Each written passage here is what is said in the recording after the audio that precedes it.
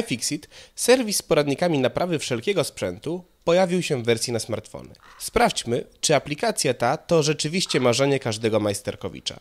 Po otwarciu aplikacji ukazuje się lista kategorii urządzeń, do których oferowane są poradniki. No to zobaczmy, czy znajdziemy tutaj tutorial demontażu tego smartfona. Niestety brak. Poradników jednak przybywa z tygodnia na tydzień. Może i ten się wkrótce pojawi. Z ciekawostek, znaleźliśmy instrukcję rozmontowania konsoli Atari 2600 sprzed ponad 30 lat. Szczególnie bogaty jest dział produktów Apple. Przykładowo oto co oferuje iFixit dla MacBooka Air. Kompleksowy zestaw instrukcji. Wchodzimy w rozmontowanie MacBooka. Jest ono bardzo obszerne. Umieszczono tam dużo informacji o samym sprzęcie i poszczególnych podzespołach. Poradniki dotyczące konkretnego elementu są już bardziej zwięzłe. Mechanizm nawigacji po tutorialach nie sprawi kłopotu.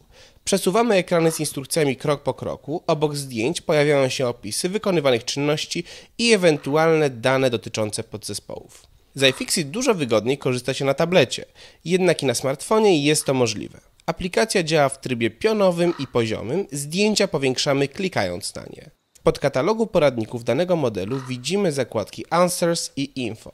Przenoszą one do adekwatnych działów w przeglądarkowej wersji serwisu. Dobrze, że iFixit doczekał się wersji na smartfony. Może ona okazać się niezastąpiona w razie konieczności dokonania szybkiej naprawy sprzętu bez korzystania z drogiego serwisu.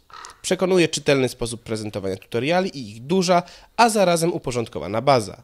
Co więcej, wciąż jest ona uzupełniana. Oczywiście brak wciąż wielu modeli urządzeń, ale trudno się dziwić przy takiej mnogości sprzętu na rynku. Prawdziwy potencjał iFixit widać dopiero w wersji tabletowej. Na smartfonie czasem musimy się wpatrzyć, by dostrzec opisywany element. Tylko anglojęzyczna wersja aplikacji może być dla niektórych barierą nie do przejścia. I wreszcie, natłok informacji o podzespołach spowalnia czasem korzystanie z instrukcji demontażu.